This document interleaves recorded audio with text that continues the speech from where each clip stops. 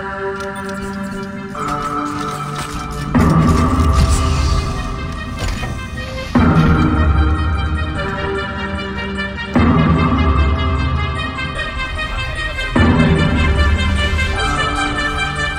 know we aren't meant to exist in the outside world.